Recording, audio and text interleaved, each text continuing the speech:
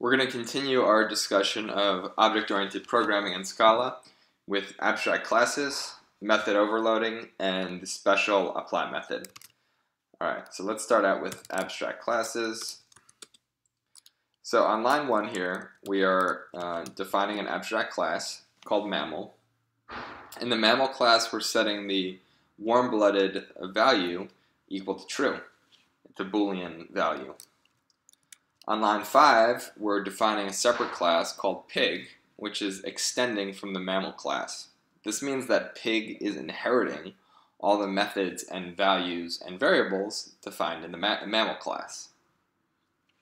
On line 7, we are uh, creating a Miss Piggy variable, and we're assigning that to an instance of the pig class.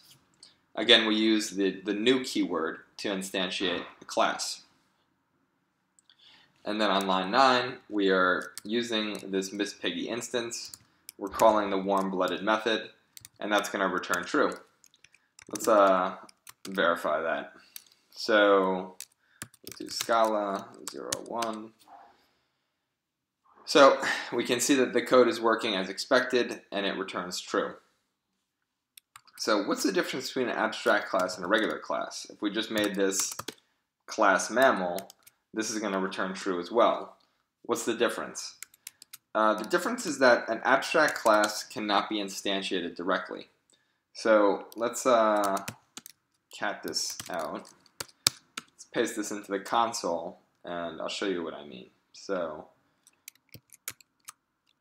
paste this into the console.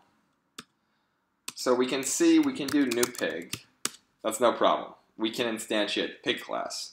But if we do new mammal, it errors out. It says that class mammal is abstract, cannot be instantiated. So that's the difference.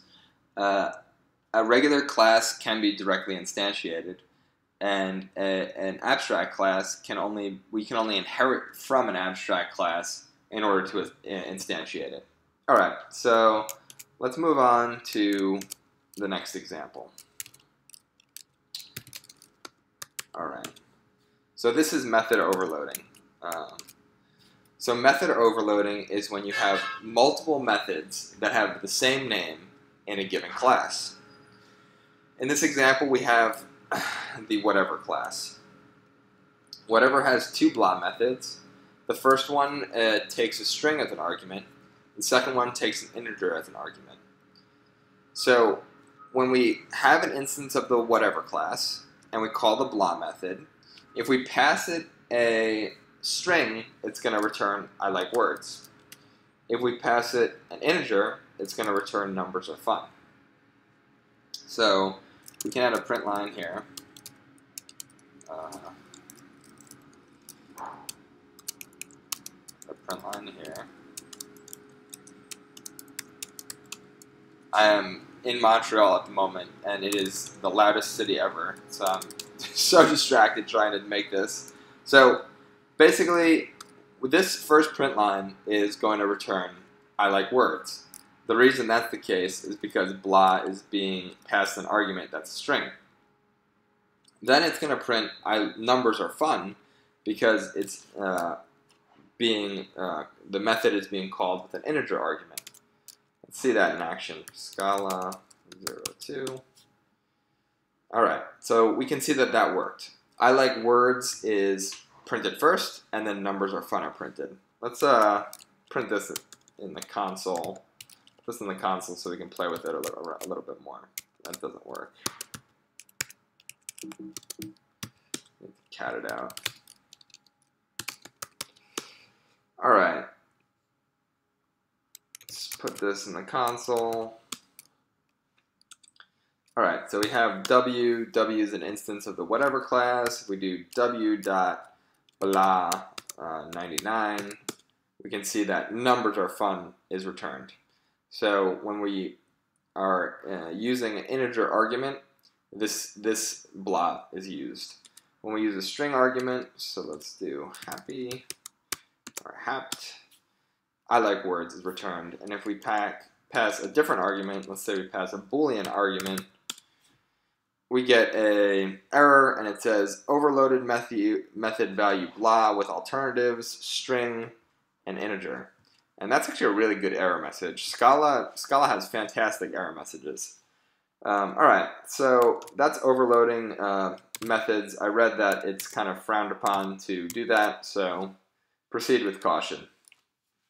All right, let's move on to the final topic of this presentation, which is the special method in Scala called apply. Um, so here we have a cloud class.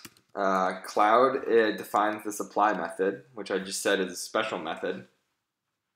And apply returns a string floating.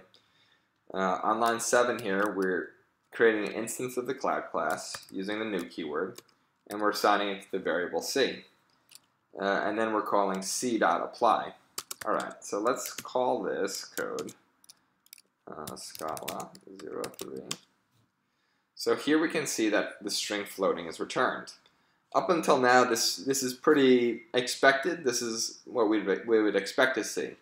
So the reason apply is special is because it's, it's going to be used when no method is specified. So if we delete this, so now we just have C kind of being called with no method, we can see that floating will be returned as well. And apply is the only method where that special uh, behavior uh, is present. So we covered abstract classes, we covered method overloading, and we covered uh, the apply method in Scala. These are all fundamental uh, concepts for object-oriented programming in Scala.